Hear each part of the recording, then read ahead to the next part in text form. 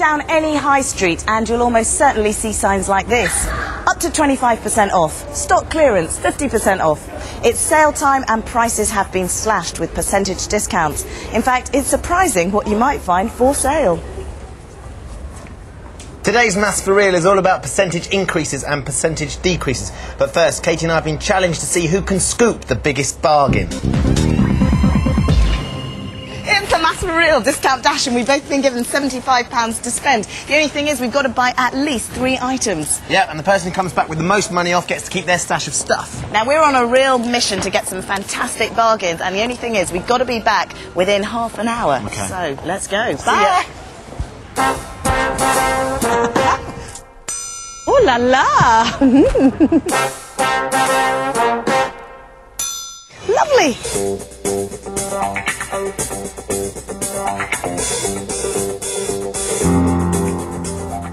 medallion make my bum look big.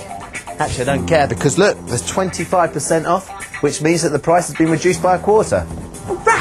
Hey, big spender, spend a little time with me. Sometimes you just know you're going to get a bargain. Look at this 50% off. That means it's half the original price. To work out any percentage, you could of course use a calculator, but who carries one of those around when you're out shopping? If the numbers are simple enough, you could just estimate, like here, what's 15% off on 49.99? Well, 49.99 is very nearly 50 pounds, which is a nice easy number. And I'm going to use a simple trick. 15% is the same as 10% plus 5%. And 10% of 50 pounds is very easy. That's 5 pounds. 5% is half of that. That's 2 pounds 50.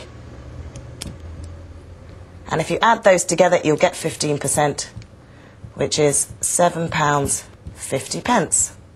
So 15% off on something that costs 49.99, 50 pounds, is 7 pounds 50. Hurrah! It's the end of the discount dash. We're going to find out who's going to keep their stash of stuff. I'm feeling pretty confident because I got myself this tasty little number here, this t-shirt, 60% off, was £15, now 6 quid. I've saved myself £9. Well, hold on, hold on, because I've got a saving here of 50% off, and the original price of this item was £70.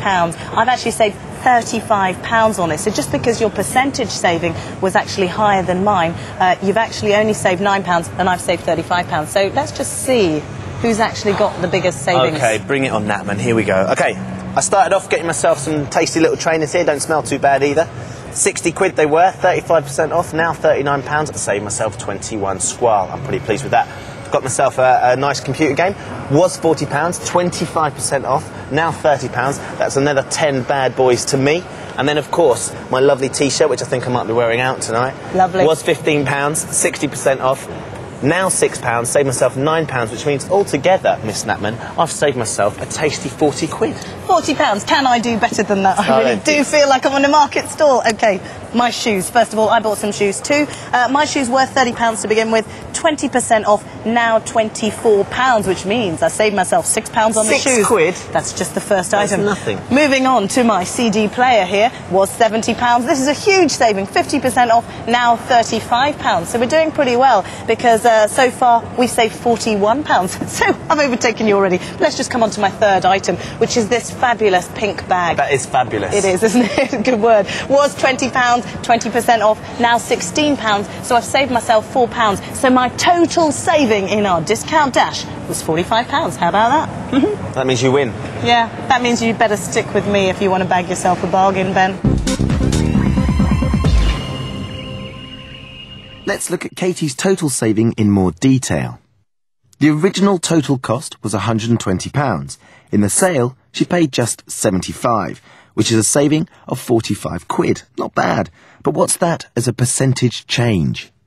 If you get given an original price and a new price, you can calculate the percentage change by using this formula here. Percentage change equals change divided by the original multiplied by 100. Now the key to using this formula correctly is remembering to use the original total, not the total that it's changed to, not the new total. So in this case, The original total was £120.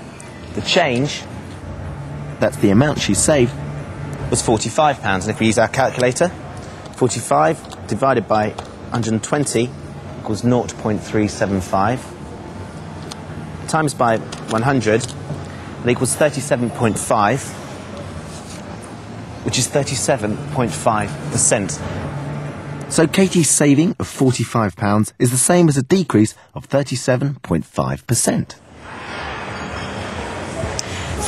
So good, but we've only been looking at percentage decreases. Exam questions will ask you about percentage increases as well, and they won't always be about shopping and money. Exam questions could be about absolutely anything. See how you get on with this week's Tick or Trash.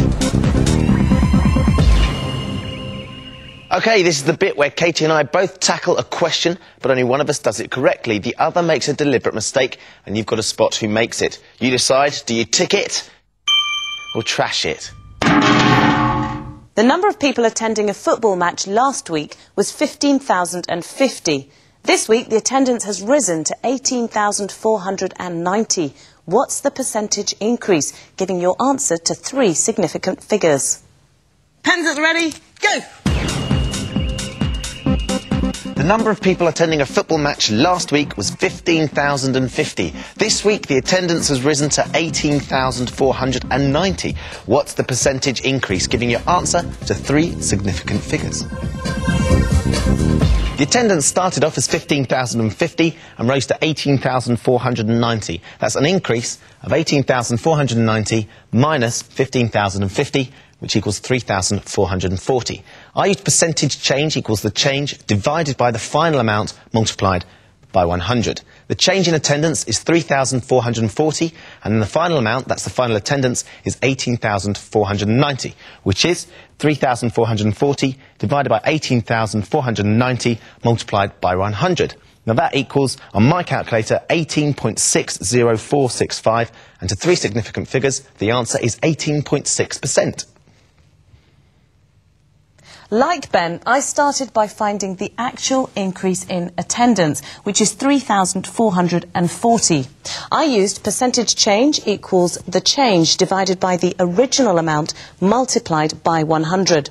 Now, the change in attendance is 3,440, and the original amount, that's the original attendance, is 15,050. 3,440 divided by 15,050 multiplied by 100 is 22.85714. To three significant figures, that's a percentage increase of 22.9%. So, whose working should you tick and whose should you trash? Was Ben right to work out 3,440 as a fraction of the final attendance? Or was Katie right to work out 3,440 as a fraction of the original attendance? Okay, it was my answer that should have ended up in the trash. My mistake was to make a fraction with the final attendance figure. That was wrong. Remember, if you're asked to find a percentage change, a decrease or an increase, always divide the change by the original quantity, not the value after the change has taken place. Another way that shops give you a better deal is by giving you more for your money, like six for the price of five. 25% extra free. Buy three for the price of two. Now, three for the price of two seems like a pretty good deal because you're getting half as much again for free, so you're getting 50% extra. Isn't that a lot to give away? You've got to remember that about 60% of purchases that are made in supermarkets are made on impulse. So all the supermarkets are actually vying for your attention, trying to attract you with their special offers. Three for two is quite a common offer to make, but it's not the best that, uh, that they're making. Looking around now, we can see over here, buy one, get one free. This is what we call a bog off, and bog this is bog off, and this is the, I suppose, the, the best offer that you could possibly expect to get. Buy one, you get 100% extra for free. Is that is that the sort of offer that the customers tend to like most? That is probably the most impactful offer that you'll see anywhere. The bog off is the, the standard offer. Let's do a test. Here are two offers straight from the shelves. Yeah. This one's six for five, and this one's 20% extra free. Which do you think offers the best value? I think it's that one. I think this is a six for five, definitely. Do you reckon? Yeah. Well, to check who's right, we're going to need to find out how much more you're getting for your money when you pay for five but you get six. So we need to find out the percentage increase. Right, we'll put your beef down and we can do it. We can use the same formula as before. Percentage change equals change divided by original multiplied by 100.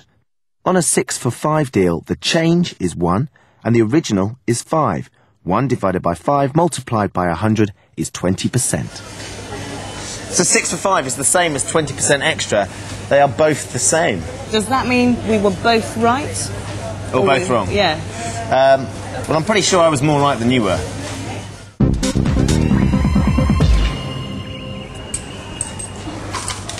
So, how much free stuff can you get given an empty trolley? And a limited amount of time. We've got just 30 seconds to find as many extra free deals as possible. Mathematically speaking, we're talking about any offer that involves a percentage increase. So, let's go. Come on. Woo! Hustle, hustle, there's something over here.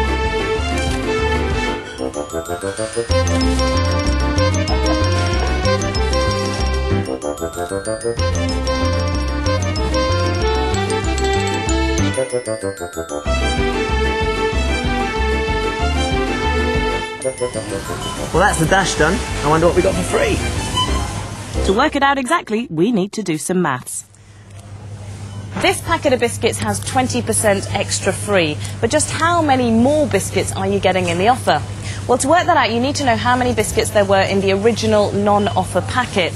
There are 24 biscuits in this offer packet, and 20% extra free means that you're getting 20% more than you were in the original packet. So the offer packet is 120%. Now, going on from there, you need to work out what 1% is. So, if 120% is 24, that's the number of biscuits, then 1% is 24 divided by 120. And the answer to that is 0.2. So, to work out what 100% is, you need to multiply that by 100, and the answer is 20. So in the original packet there were 20 biscuits, in the offer packet there are 24, and that means you're getting four more biscuits if you decide to buy the offer pack. Here's another little cheeky one for you. This bottle is offering us an extra 15% of shampoo, but how much are we actually getting for free? Now, as you can see, this bottle with the offer contains 150 millilitres. Now, you need to think of the original package without the offer as being 100%, and with the offer as being 115%. Now, honey nut loops, I'll take them. That was two for one with some crisps. Crisps, right? I'll have, uh, how many? Three bags of crisps. Ben, what are you doing? And where's my chocolate biscuits? What are you doing? I'm just getting all the free stuff, Casey. It's not free. Of course it is. It says no, free got, on no, here. you've got to buy the other stuff that goes with it. But it says free there. No, no, no, you've got to put it all back. And what's this? It's my shampoo. Can't I keep my shampoo? Oh, God, you need it. Your hair's looking awful, but you've got to put that back too. This is awful, Ben. You can't have all this stuff. You don't get nothing for free these days.